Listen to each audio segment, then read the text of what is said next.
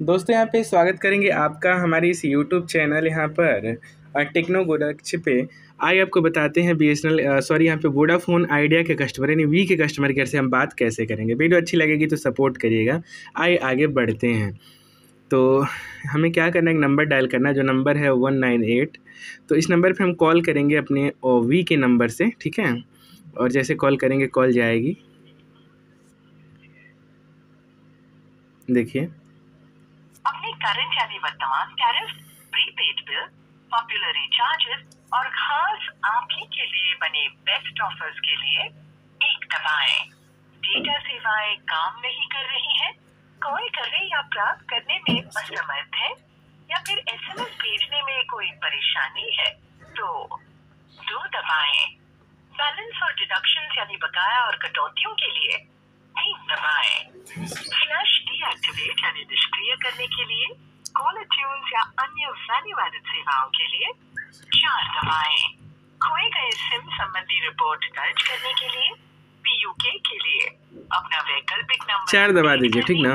Ivy प्रिय ग्राहक आपके अकाउंट में कोई भी वैल्यू ध्यान से सुनिए एक्टिव नहीं है। यदि हिंदी इंग्लिश पूछे तो पहले भाषा चुनना है। भाषा चुनने के बाद चार दबाना है ठीक ना? जैसा मैं दबा दिया हूँ। अब ध्यान से सुनिए वैल्यू एडेड सेवाएँ एक्टिवेट यानी सक्रिय करने के लिए तीन दबाएँ।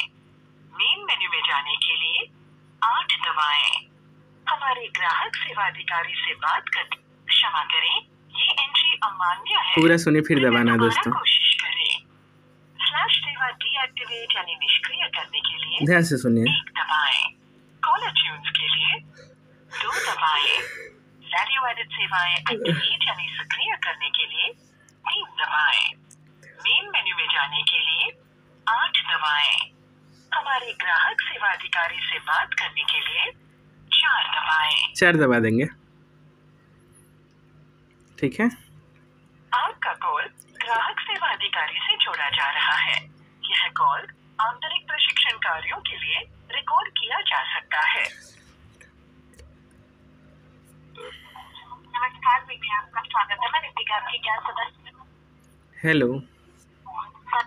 तो दोस्तों, जैसा कि देखिए, मैंने कॉल लगा दिया। बस कॉल लगाना सिखाना था। बाकी दोस्तों, मुझे कुछ पूछना नहीं था। आप आगे बात करके पूरी जानकारी ले सकते हैं। तो हम मिलेंगे किसी और वीडियो में। तब तक के लिए आप लोग अपना ख्याल रखिएगा। बाय